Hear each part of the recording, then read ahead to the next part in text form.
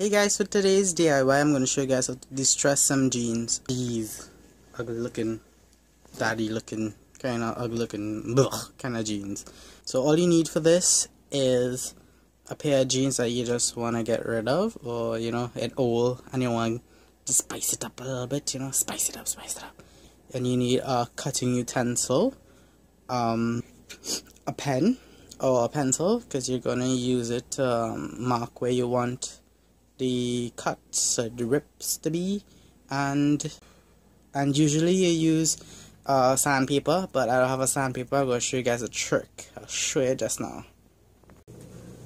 So what you're going to do is you're going to take your pen and just mark where you want your sets. I want mine around here by the knee because it looks cool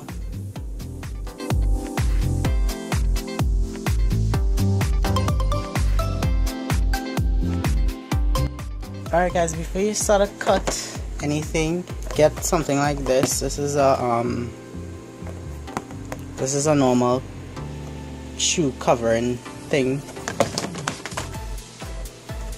And it fall down. Anyways. What you wanna do is like put it inside and all the way down to the where you're gonna be cutting because sometimes if you cut and you're cutting and you're real cutting you might cut straight through and cut parts of the pants you don't want to cut. So, you see that? So, you're good.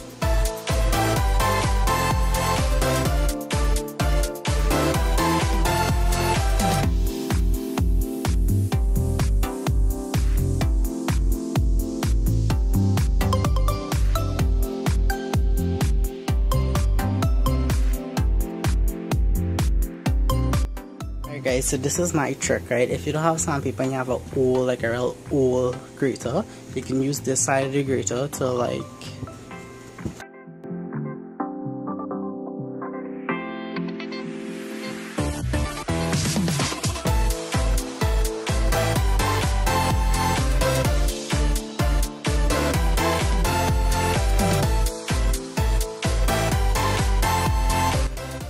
So what what the bridge actually does is it works like the sandpaper. It wears it wears it down. Look look at look in. See?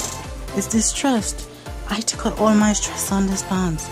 Anyways, I'm gonna do the next side and tell you guys what to do next. So when you finish grating and taking out all your stress out on this pants, it gonna look a little something like this. And your your ground gonna look like that, all as jeans. And what you had to do now is just pop it in your the washing machine for a couple turns and you're done